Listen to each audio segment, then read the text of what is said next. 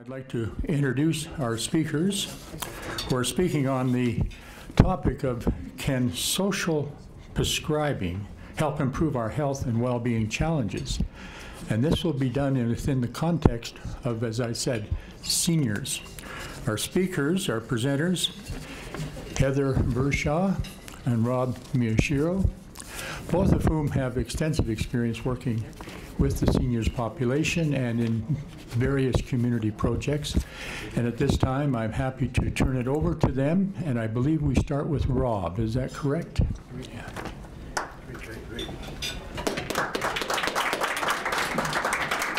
Yeah, I'm not, not quite as tall as Bob, so we have to adjust this. So, so I'm going to talk to you in, in general about why we are doing what we're doing and what the importance of it is. And then Heather's going to talk to you about the nuts and bolts about our, about our um, social prescribing project in Lethbridge. Just about every single new uh, seniors minister or social services minister um, sees this pot of money called FCSS. Oh, by the way, um, we, we put a glossary sheet on your table because we use a lot of jargony stuff. And we thought it'd be best, rather than, than us explain every little thing that we're talking about, if you don't know what we're, what we're saying, refer to that, please, because it, it would just, it, it'd be long. Every sector does this. So FCSS is, um, is 80% funded by the province, 20% by municipalities, and is specifically for early intervention and prevention services. Every single new minister to that portfolio that oversees that looks at that money and goes, oh, there's a few million dollars here that we have no idea what it does, so why don't we just take it away? Because they don't understand. And this is, this is not um, uncommon for almost every new, new minister. Um, there's some, obviously, they're a little bit more enlightened than others, but there are some, um, and this happened when the UCP government um, came into power in 2019, is their very first Minister of Social Services looked at this money and was, was making waves in, in the sector saying, hey, maybe we don't need all this money in there. So that was the impetus for some of our, our organizations in Lethbridge that deal with seniors um, and are funded through FCSS to say, hey, wait a second. Um, if they're going to cut, uh, we need to figure out a way that we can provide service to our community um, and have the cuts not affect us as, as drastically as they could. So at that time, we were starting a, an idea at LSCO to do some outreach programs, programming. Um, we gathered some of our colleagues um, in the in the senior sector that are funded through FCSS through the city, and said, "Hey, we uh, we got this idea. So we want to form a partnership, and we want to provide services for the community, but we have to do it together, because if there's five positions, and all of a sudden we lose." 20% of the funding for our, our section in FCSS, we still have four people left to do the work. Um, and after some uh, some back and forth, I think we reached an agreement that this is probably a good way to do it. Um, I guess, in all honesty, um, our partners at first thought I was trying to take all their money, and they were they were a little bit reluctant to to agree to that. But once they understood the big picture of how this would work and what everybody's role was and how the funding would work, um, jumped right on board. So we've been doing this um, as a group and having these talks since 2019. So in 2020, um, under Heather's direction, we started we started providing these outreach services to the community, and we were the only seniors organization in Lethbridge that provided outreach services to seniors in our community during the COVID restrictions, um, and and. It was they were very busy, um, but we were we were pretty proud of the fact that we were the only ones doing that because a lot of people were just closed. They weren't they weren't working from offices they and some of them weren't even working from home at that point. So so what we want to do is make sure that we we had all these different places working together. Lethbridge housing authority norbridge seniors uh, canadian mental health association volunteer lethbridge uh, lethbridge family services um, the, the counseling and education department, all working together to provide services. And Heather's going to talk to you a bit more about the nuts and bolts of that. So we, we formed a formal partnership, we did a, a memorandum of agreement, and we created a seniors services ecosystem within the city's funding model, um, which, which it was a gift to the city. Because when they went to look at, at their um, priorities, and seniors is a priority for um, the municipal f- social services, they looked at what we created and, and fully were on board, because then they didn't have to do any planning around it, because we already did. Um, So, I don't know which one to hit here. So where does that lead us to? So then we were doing this work, and then all of a sudden, we hear about this thing called social prescribing because I'd, I'd never heard of it. Heather might have heard it. I never heard of it. I just do stuff and hopefully it works.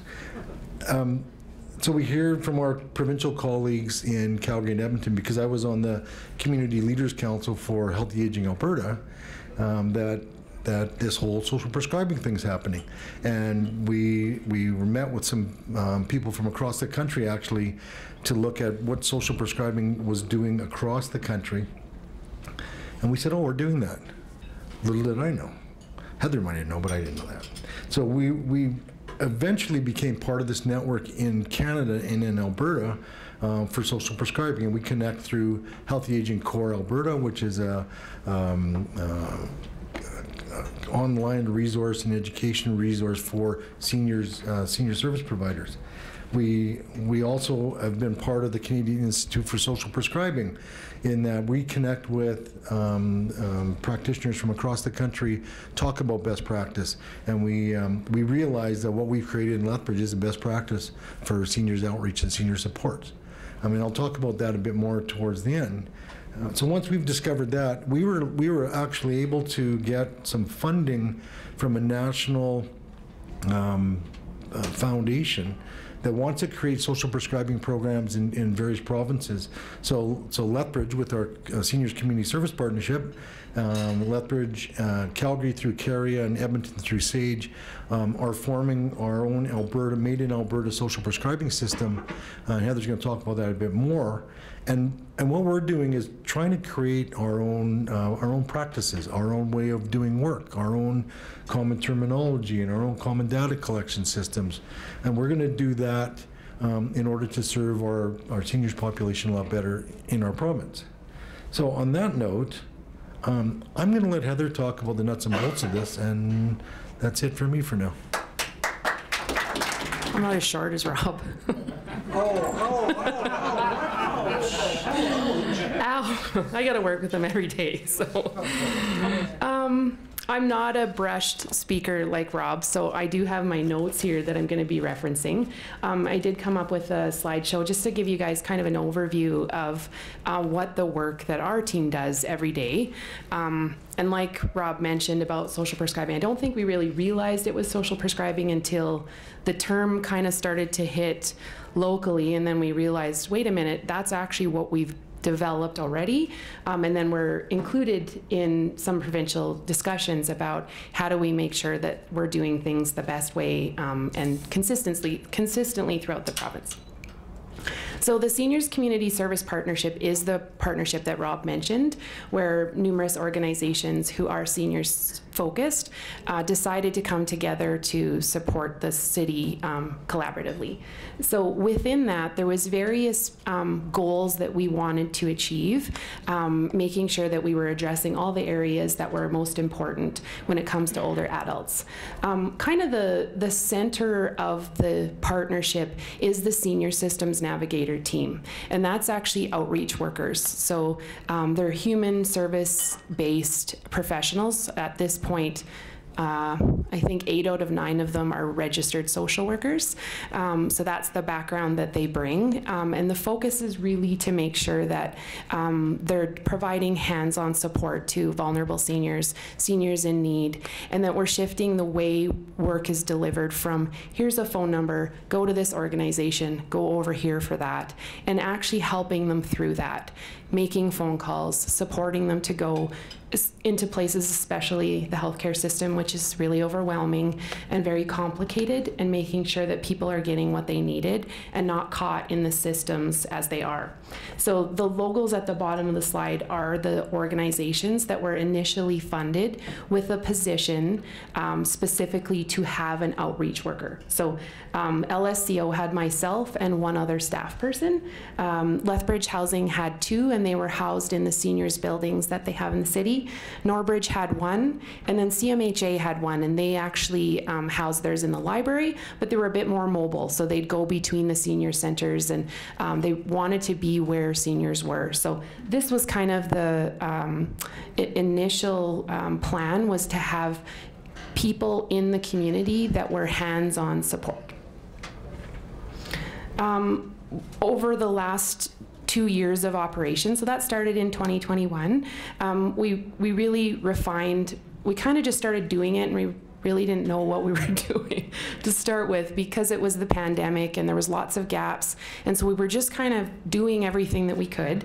Um, and over time we've kind of tried to refine that a little bit by ensuring that our team is focusing on um, folks over the age of 60 there are resources for adults there are resources for family there are resources for children um, but it was really a gap. We know that there people with uh, specialized knowledge and specific knowledge for older adults was was a gap um, to coordinate the supports that we were providing, we created a centralized phone number so that regardless of where people were calling from or where people, whether they were attached to this senior center or that senior center, it didn't matter. It was just a, an opportunity for people to get help. And so we found that having one phone number was helpful. We made sure that our team members were stationed throughout the city, um, not necessarily in offices, but they were in places where it was easy to find them. Um, all of the work done by the team was supported by myself in terms of clinical direction. So I met with the team and made sure that we were delivering um, appropriate supports and that all of the work was supervised properly.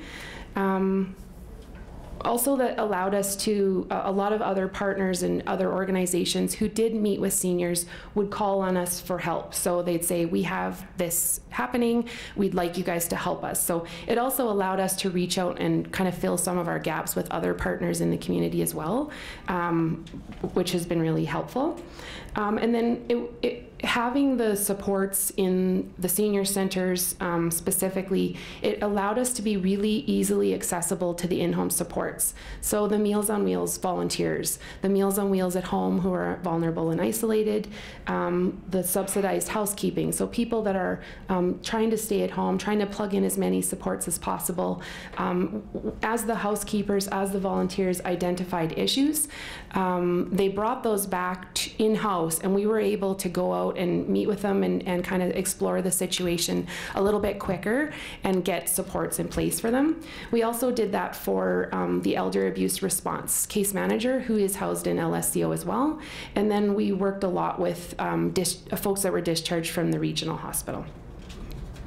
Um, just kind of uh, more recently, we've started to target the primary care networks, the doctors' clinics in town, and that's specifically in relation to the social prescribing work that we're starting to do. Um, the workers would identify needs, um, support connections to resources, uh, facilitate community connections and peer supports, um, offer hands-on outreach-based involvement, provide emotional support and education, and then the big one is advocating within complex systems, whether that's financial systems, government systems, healthcare systems. Um, there's a lot of them. Uh, Lethbridge Family Services was our partner who was really interested in exploring counseling resources for older adults. Um, so we know traditionally older adults didn't seek counseling, don't maybe know um, if they would be interested. It wasn't uh, a traditionally a way of coping, um, but really knowing that there is value in therapeutic relationships and counseling um, relationships with people. Um, so what Lethbridge Family Services started doing is providing single session counseling, which is free. Um, here in LSCO, we started here we did that for about a year and then we transitioned over to include Norbridge in that. So twice a month, a counselor is on site for anybody that might want to talk to somebody. The way I pitch it to people who are reluctant is um, try it. It's free. It's an opportunity to give it a try and see what you think. Um, and that's resulted, um, when I did the annual satisfaction surveys, I think we had about 85% of the people that had trialed it go continue on with longer term counseling. So it's really meant to be um, bringing initiatives and allowing people to access them easily in a comfortable location without paperwork and all of the barriers that go along with that. Uh, volunteerism. So, Volunteer Lethbridge was our partner um, when we established the partnership, really to screen, recruit, and promote um, some, of the, some of the opportunities within all of the partnering agencies. Um, we also found this valuable because it would allow um, the navigators, the outreach team, to connect with Volunteer Lethbridge and come up with unique opportunities for seniors who are looking to be involved and participate in things. So example of this is we have um, seniors that have actually supported other seniors by packing things and preparing them when they're no longer able to stay at home and they need to move into supported living or um, actually physically moving things. So um, bringing a truck, putting the bed in the truck, hauling it over to the next place. Moving resources are extremely expensive and so for seniors on a fixed income, that's not attainable. Uh, our in-home support programs, um, so these are things offered in-house, Meals on Wheels, subsidized housekeeping, lawn care and snow removal, and then Community Connect. So these are other contributions that LSCO made in terms of the partnership and what we really wanted to leverage within all the agencies where an outreach worker was housed is um, we want to be able to give people these resources to help them stay in their home longer um, or else when there's needs arise we want to be able to be um, accessed and available um, for people that are struggling um, to stay in home. Community Connect is a relatively new program that was run by um, Volunteer Lethbridge throughout the pandemic, which was a, a, friendly phone call to an isolated senior without supports. Um, so Volunteer Lethbridge got it up and running, and then um, when the funding contract for that expired, it moved over to LSCO and is part of um, the resources that we try to provide here. Um, peer support services, um, again, making sure we're identifying needs and we have resources that are easily accessible.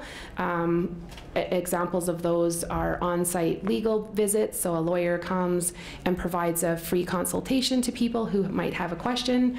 Um, we have foot care, we have other professionals coming, and we try to have those um, offered frequently and easily accessible again so that people can get that need met, especially with um, some of the challenges in the healthcare system right now with um, accessing resources. Um, the other part I wanted to mention is it was really the partnership was also really meant to be a collaborative partner. So within our own um, agreement, we were working together, but we really wanted to be able to work closely with um, elder abuse. Obviously, that's um, uh, something that's been operational in our community for quite some time, the program, um, and their um, ability to respond to all of the things as one person in one program is quite limited. So we really wanted to be able to support other seniors alongside the case manager. Um, again, Alberta Health Services, so working with um, emergency, uh, the transition services, and home care, um, and, and then more recently working with primary care and Healthy Aging Alberta. I just wanted to share a little bit about some of the impact that we've noted. So this is just, um, I just finished up the report for 2022 um, regarding um, the referrals and the amount of people we supported and how we supported them.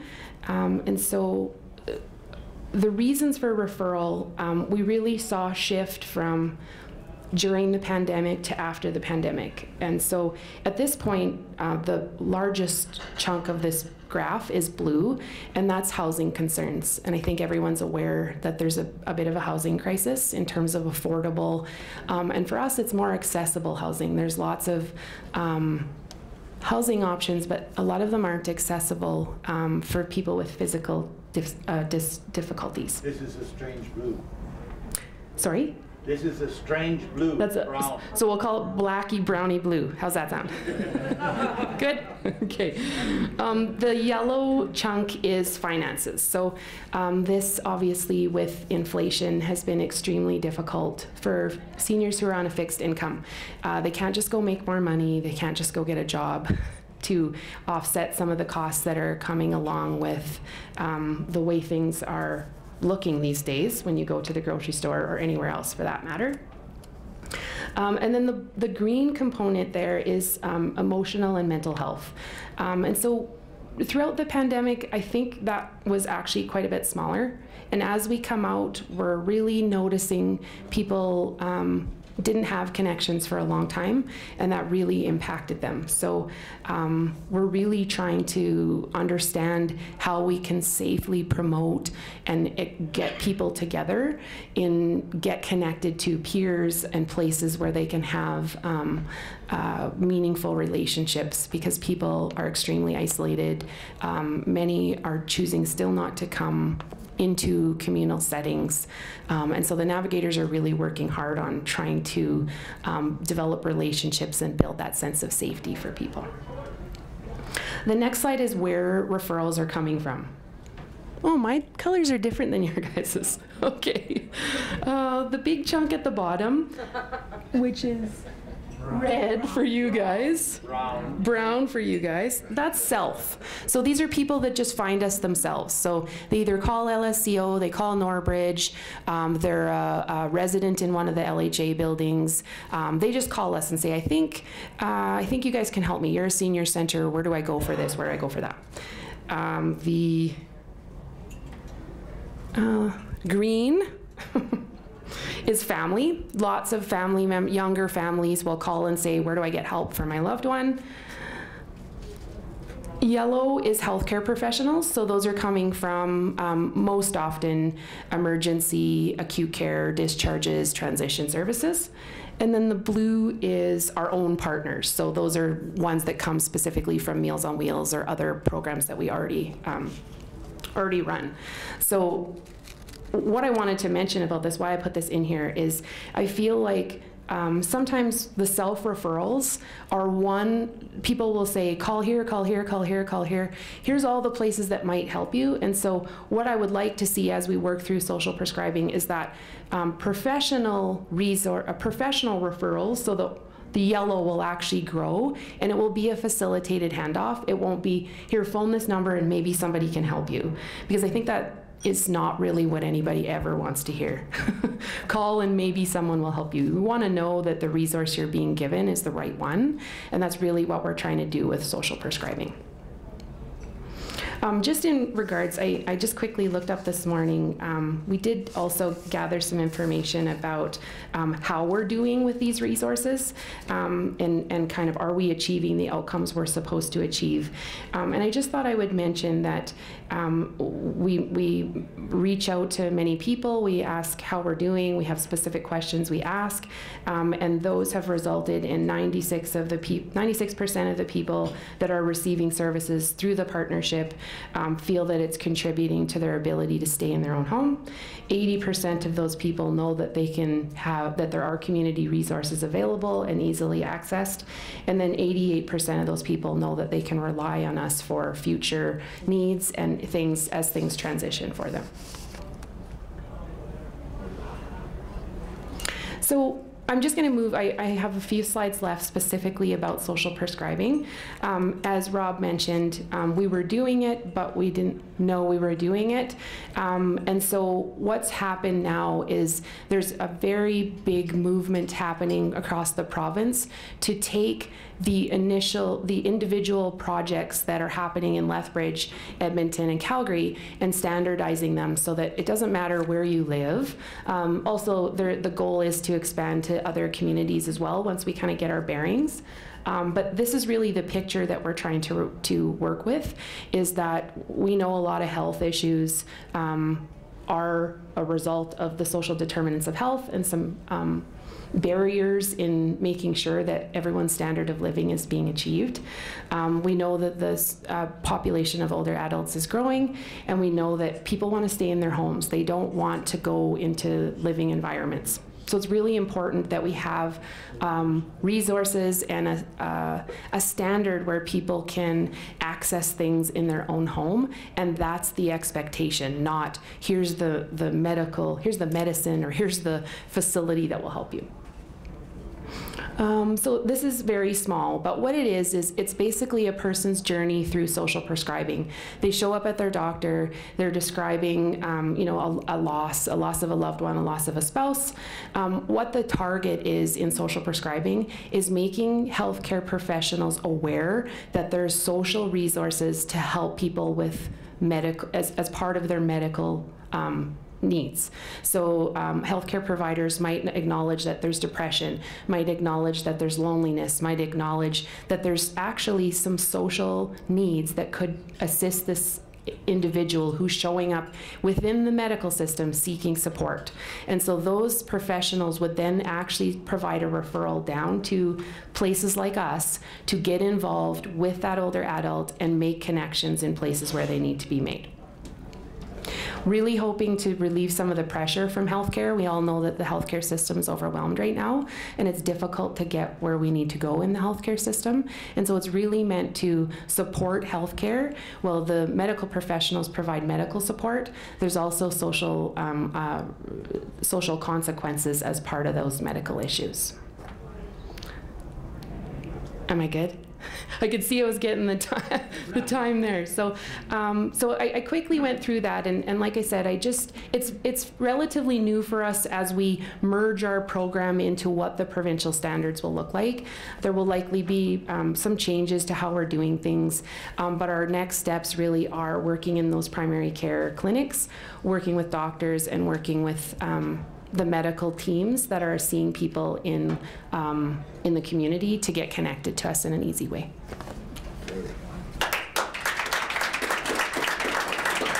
All right, now this is the Q&A period. You know the drill. Keep your comments short and your questions to the point. And name. And your name. Thank you. My name is Henning Mundel. Thank you for your presentation. And uh, like Rob mentioned, I had no idea what you're doing in social prescribing. I have a much better idea now. And you did a great job in uh, breaking down sort of where the referrals come. Uh, my concern and question relates to referrals, people that may not know about you, and part and parcel of that, the senior homeless. So do you have any kind of plans or processes or methods of handling that? Yeah. Um, sure. So what I can speak to in terms of um, making sure people know about us is I try to get ourselves in all sorts of places. Posters, um, uh, we attend many community things. We all have matching T-shirts. I know it sounds corny, but it's the best way to get people to go, well, who are they and what are, what are they all about? So I, I do try to get places, um, but no, um, as social prescribing becomes more um, prevalent, the, the awareness that there will likely be um, more visibility in um, medical systems about it. Um, so one of the clinics I'm currently working with wants you guys know those TVs in the doctor's office where things roll by. They want me to come up with some slides to go on there. So that will go in those offices. They want little write ups that they can leave in their clinics. So those are some of the things that we'll be doing. Um, in terms of the homeless seniors, we know about them and we are already supporting them. So what happens is um, the cities defined our partnership as population specialists. So we, um, as a partnership, are tasked with being aware and being on top of what is happening for older adults in Lethbridge. Um, and so any agencies that work with homelessness um, across the age continuum are um, know of us and they say help us because we don't know. Um, and so the biggest issue we're dealing with right now is housing for them because um, traditional housing isn't the right option. And so they're unfortunately living, continuing to live in homelessness, living in hotels, um, but really needing a bit more of a structured, supported environment due to age-related issues. So we definitely get referrals from them, from professionals who work a lot with homelessness, saying we need you to help us because we don't know what to do. Okay. Next question. Hi, thank you for that presentation. Herzliche Glückwünsche zum Geburtstag, Hans Henning. Um, but, uh, uh, sorry, Shannon Phillips. Um, I have a quick question for Heather. It's, uh, it's what I call a queen of the world question. So you have about four or five uh, social workers working right now on this project. If you were to wave a magic wand and expand these uh, uh, programs, uh, what would that look like? How many more? Uh, how many more resources could this really use regionally, even? Um, and a second part of that would be around that housing question. You, you flagged accessible housing. Um, what would those kinds of short-term investments look like? What should be on our horizon there? That sounds like a really big question. Okay, I will do my best. Um, uh, magic wand wise, um, I am hesitant, and I actually was speaking to my provincial colleagues with social prescribing yesterday about I'm worried to go to all the clinics because I do believe they will see this as a valuable resource. And when I think of my little team of five, I go, oh boy, I don't know how we could adequately keep up with, because I know there's a whole um, group of older adults that don't know about us, have never heard of this, but also want to stay in their homes. So want all these things to happen and want support to make it happen. Um, and so I, I am aware that there's not enough of us. If we reach, I think I counted, there's 12 primary care clinics. We're working in three of them right now. So that's four times as many. So one, so just one thing to that, Shannon, sorry, Heather. So the National Health Service in, in the UK um, has been doing this a lot longer than we have in Canada, and their standard, their projected standard for the number of, um, they call them link workers, but it's be the same as our SSNs, is, I think it's 90 per million. So literally, that, we'd need nine. So we would need at least three to four more in, in Lethbridge. And then the question about um, housing, um, I think that's a really tough one to answer um, because I think there's uh, uh, many issues, um, social issues that people who are homeless experience, and then they're also added um, on top of challenges related to aging. And so um, when I look at what we have, um, we have great options, but not one that's specialized with um, supports for people who've lived vulnerable lives their whole lives, um, have never lived in communal settings, have never had structure, um, but need the components of like a lodge setting or somewhere with support. So uh, some version of that is what I believe is um, needed in our community. Um, we have a large number of homeless seniors that we work with, um, and naively for myself, working in AHS for as long as I did, I didn't actually know many of them existed because I was working with a different component of older adults. Now that I work in this position, I'm very aware that there's a large portion of older adults who are homeless.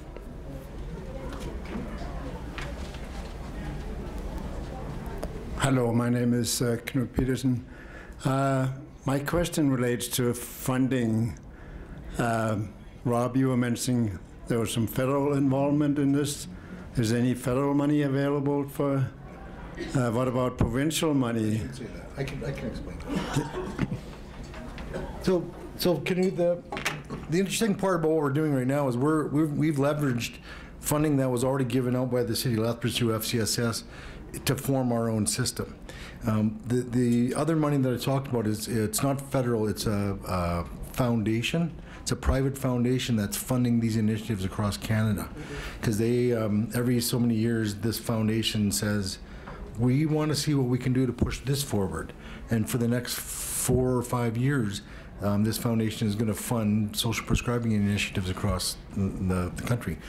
Um, in terms of provincial money, there's other other money to provide supports for social prescribing, um, and one of them is that um, the provincial government right now is providing some supports for um, Healthy Aging Alberta through the United Way of Calgary and area, and they're like our backbone for Healthy Age Alberta, who's also overseeing the dollars for um, for this private foundation dollars, right?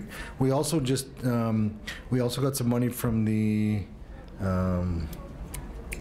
The, the, no, the big, what was that fund? Um, uh, we got some money for regional um, community developers um, through the provincial government. I can't remember exactly what that fund was called. Uh, and and so that was a two and a half year project that is going to end, but then we're going to we're getting extra dollars right now put towards that, and so that's all going to help. What, what Heather was saying, it's all going to help connect those services in the different regions um, to to make that happen. Uh, could we use more money? Absolutely, but I mean, uh, the difference though, just asking for more money is that. Um, and, and as long as I've been doing this kind of work, is extra money is not always the, the answer, and I think people that will know that that's true. But it's how you use that that money that's um, that's the important part. This is some of the best use of dollars that I've ever seen in in my four decades of doing social support work and, and program development, right? Because we're doing it in partnership and we're doing it in collaboration, we're serving an entire community. We're not just serving like LSCO members or Norbridge members, we're serving the whole community. And I think that makes a huge difference in the connections that Heather talked about. It's how everyone works together for the best outcomes for seniors. Um, probably the best way to go about it and the best way to use, use the dollars. Thanks to both of you for an excellent presentation. I'm Mary Shellington.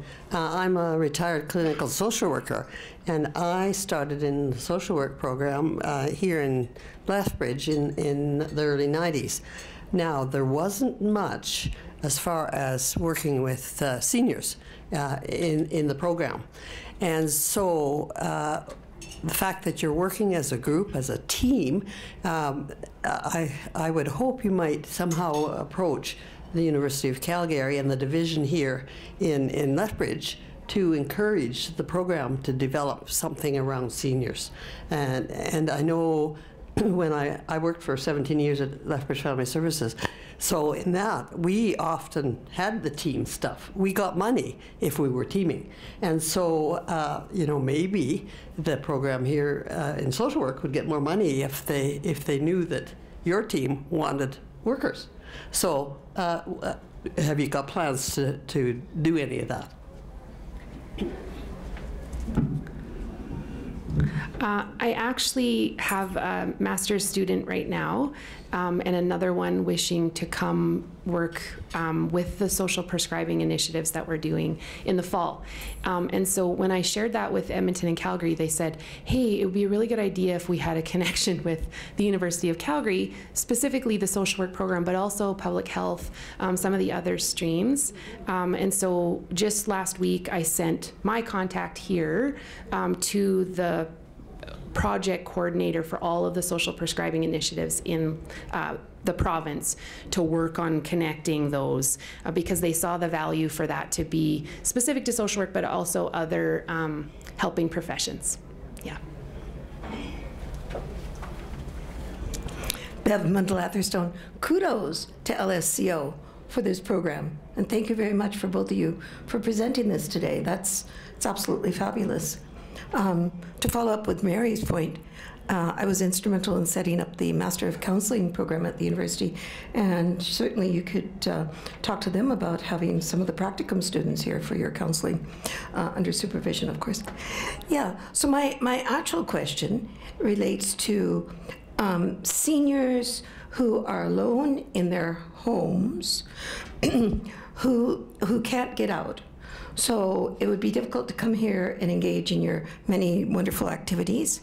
And I'm wondering if you're working together with Lethbridge Housing Authority or the province or whoever else you've partnered with to look at the possibility of people who are alone in their house but do, really don't want to be living all alone and who would benefit from that social interaction with another person or persons.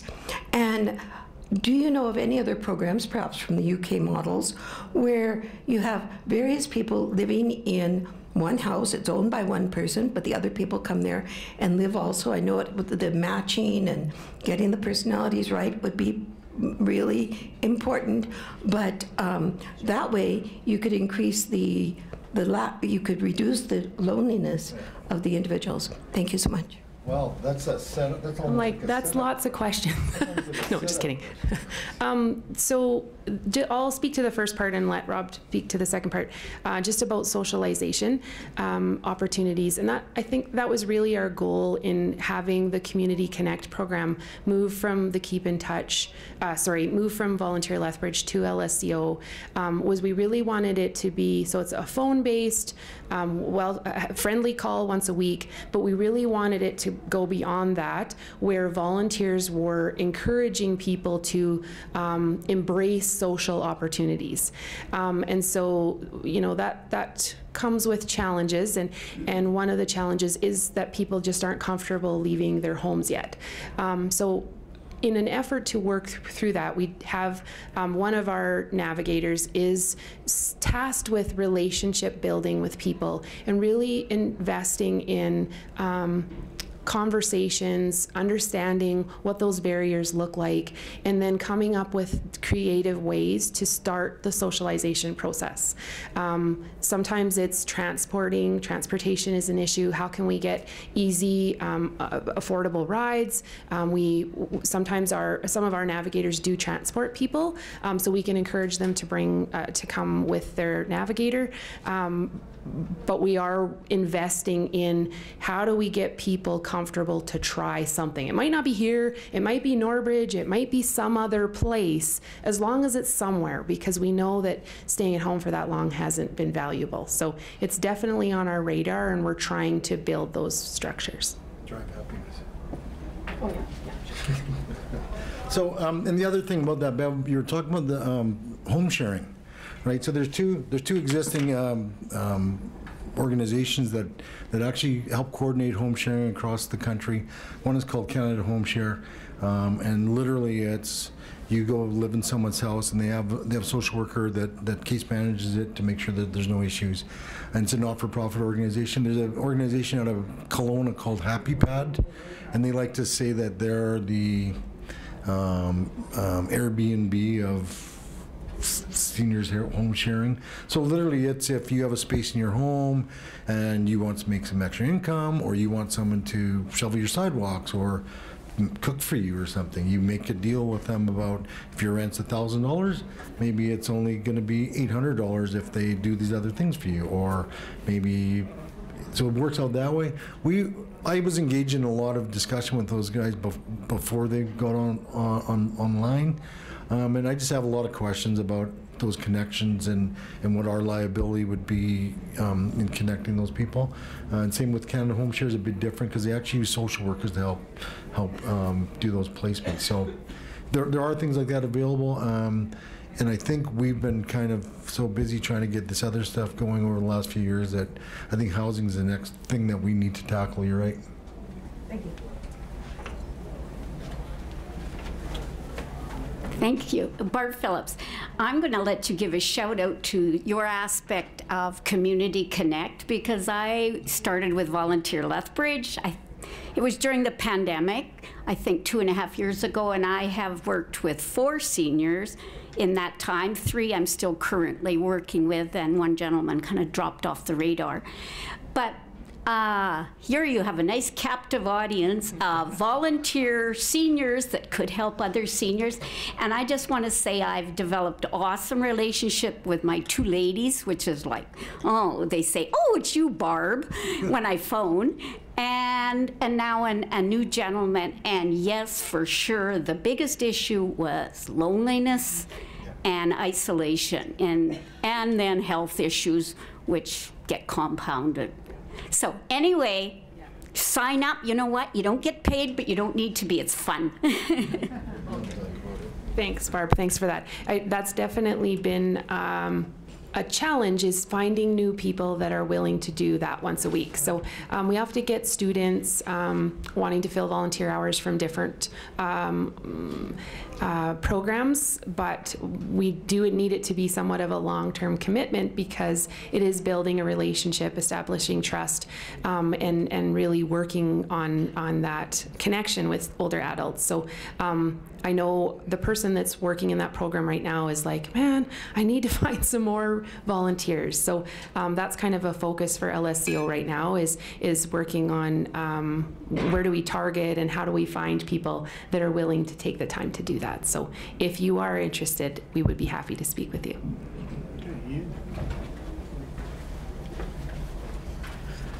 Thanks very much. Uh, I'm Ian Hurdle, and first of all, Heather, I think you caught up to Rob on your presentation ability. Thank you.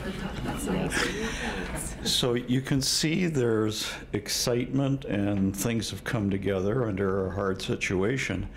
What I'm interested in is your success spreading out where the surrounding computi- communities are now asking you for advice how to do it.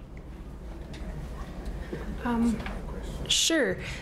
Um, so some of you may know that there's boundaries that come along with funding. Um, and so that becomes a bit of a challenge when the funder only allows you to drive your car to a certain street in Lethbridge and you can't go beyond that street. Um, and so our obviously most um, closest areas is um, Coaldale, Coalhurst, Picture Butte, or, um, within the Barron, Eureka, Warner, FCSS area. Um, and so we've had a lot of conversations about this exactly because a lot of the smaller towns, um, their older adults are coming into Lethbridge for resources. Uh, their doctors are here, their um, supports are here, and and they have staff, they have programs, but they have acknowledged, you know, that their ability to support complex, um, challenging situations, they're um, lacking in that area. So they definitely phone and we offer suggestions and we try to help them um, troubleshoot without driving into their cities or their towns. Um, but we both have acknowledged that there's valuable um, ability there for us to support them and for them to support us because we're sharing the same people anyways. So, yeah. So, so yeah, so what, what Heather, what Heather didn't say is that um, they don't turn people away. So I want to make this really clear. They don't turn people away. And so we've, we've developed a service attitude here um, some years ago. Um, no one here from the city of Lethbridge, is there? so, and, and, she said there are jurisdictional issues about funding, and City of Lethbridge doesn't want their taxpayer dollars going to serve someone in, in Coaldale or Coalhurst. However, um, if someone comes to see Heather's team and they drive into Lethbridge and we don't know where they live actually, um, then these guys will help them. And and it's it's actually, I know it might sound funny that we have to do that like on the sly, but um, I've been working for several years, actually more than several years, a number of years, to try to get the city to allow us to serve people in the surrounding areas. I even talked to the executive director for FCSS in Edmonton, and, and she said there's nothing stopping you from doing that, other than your own your own municipality.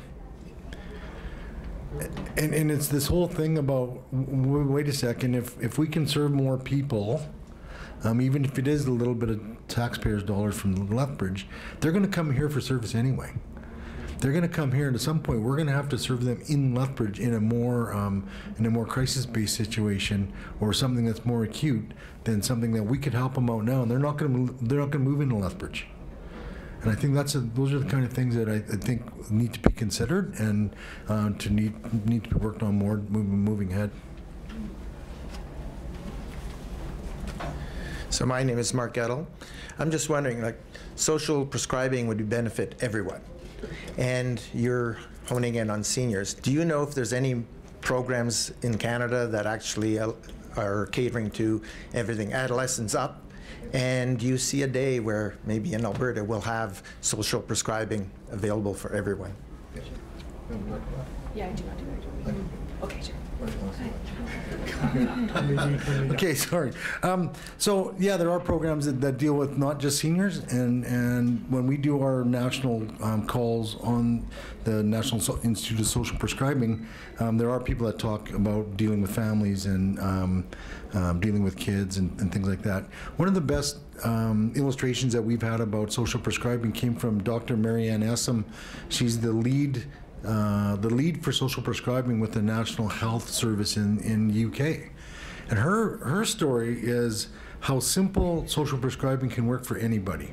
So one thing was um, there was a guy that the, their link worker, which is like Heather's staff, was working with a gentleman. Um, he wasn't in contact with his kids, and he was getting more and more depressed all the time. So when the link worker wor- went to his house, and this guy was in his late 30s, early 40s. Um, link worker went to his house, and the, the guy had his, his shades were all drawn, and it was dusty and dingy in there, and his furniture was all threadbare. And he, so they, they developed a plan to have this guy clean his house up. And they found some furniture to use furniture store, and um, he was able to get him into a, a, um job search program and uh, find him some mental health supports. Um, so at the end of the day, after like six months, this guy, he was a new person. Just because this link worker identified some things that this guy needed um, that weren't medical, but improved his um, health outcomes by so much, he was able to get a job and develop a relationship with his kids again. So those are the kind of things I think we can we can use this kind of work for just about anything, right?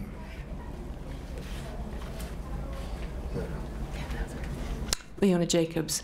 So I'm sitting here kind of going, okay, great program, love it. Um, but my thing I can't reconcile is the whole business about people finding their way here. And so you put up a graph, said a lot of people are just self identifying right now. And that presumes that people see themselves as needing this. And we have a lot, I mean, the, the generation of seniors coming up are the boomer generation, and they're very different than your, you know, the, the sort of stereotypical image of the gray hair, right? Um, so there's that, but also then when you say you want it to come in through the health professional, health professional is a very broad term. And so my mind went, well, okay, who, who do you first interact with is your doctor. But we have an issue with respect to doctors. And even if you have a doctor, you have an issue where their mindset is, by habit probably, is focused on the medical and not on the social determinants. And they're not even probing those necessarily to know that maybe you don't need a pill, you need to have some help doing something. So, how are you going to reconcile all this? I mean, it's just, I don't see, I see this happening over here, and I see, but I don't see how the intake's going to happen. So, Yeah, sure. Um, so, like I mentioned, there's one clinic that we're working with right now, and that's all the Campbell clinics. Um, and so, the work that I've done is specifically with an RN, and she um, was pretty honest in these things are what I do as a nurse, as the support staff for the physician. Um, so she's often saying this is where this needs to go in terms of community resources. And um, the doctors will flag the issue of like, I don't know, there's something else here. I've dealt with this and this, but this isn't something that I know what to do with. And so what she has suggested to me as I'm working to approach all the clinics is that I'm actually targeting the office staff, the support staff, the um, project managers, the clinic managers. That, yes, of course, the doctor is instrumental in understanding that there are supports for medical conditions that aren't medical based, um, but she's she's suggesting that a lot of those conversations are actually held with the RNs that support the doctors. So, and that it would be um, a, a, wise way to start, to start to allow the doctors to see the follow through and the um, benefits that could be gained um, by delivering news back to the referral source, the doctor, of like, we dealt with this and this and this, and for them to see that as a component of the care plan. So the other the other thing, Leon, I'm sorry. So the other thing, Leona, is all those other things that Heather talked about, the services that we provide in the partnership, all our in-home supports, and we also do um, income tax preparation, volunteer income tax preparation, and and that's almost that's almost always a flag when a senior comes in they haven't um, filed their taxes for more than a year. Because the first question is, why haven't you done it? And then you start probing those kind of questions, and, and our volunteers will will let let our staff know about that because it, it's an issue, right? Um, and then they can start finding out the other things that are wrong. So um, the, the other thing is um, Heather didn't touch on either is all those other things that we do um, are not necessarily always here right? And so when we're out in the community and, and we're talking to people, and our elder abuse case managers out talking to people about services they need, even if it's not an elder abuse issue, there's something in that person's life that requires them to need support. Um, we're providing support for a couple hundred more people that prior to 2019 weren't getting any service. And I, I think um, I get what you're saying, but we've come a long way in a few in a few short years.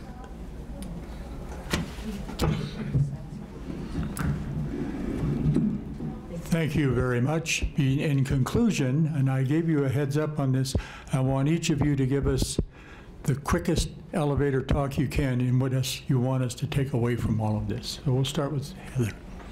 Okay, sure.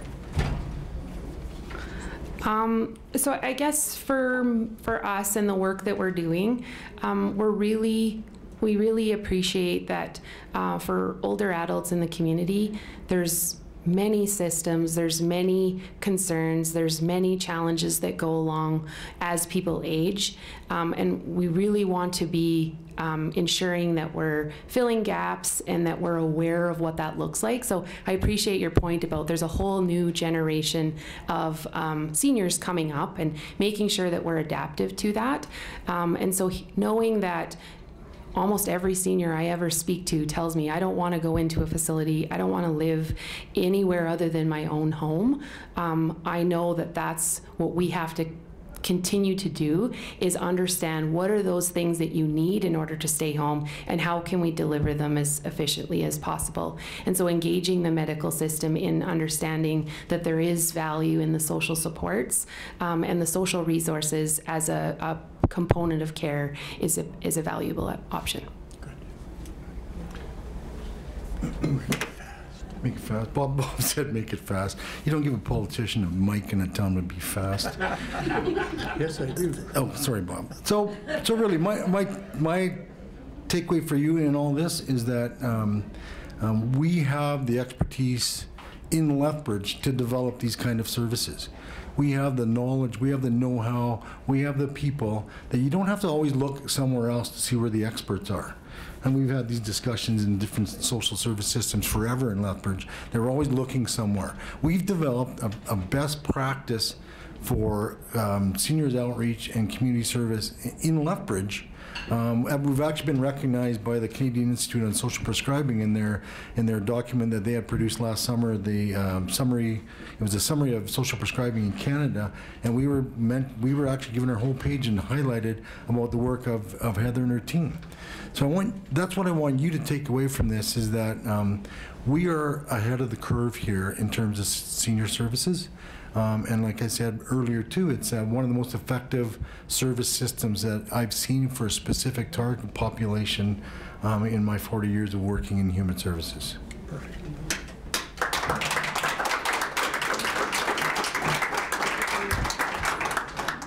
So Heather and Rob, thank you very much, and everyone join me again in welcoming them, or thanking them for such a wonderful presentation.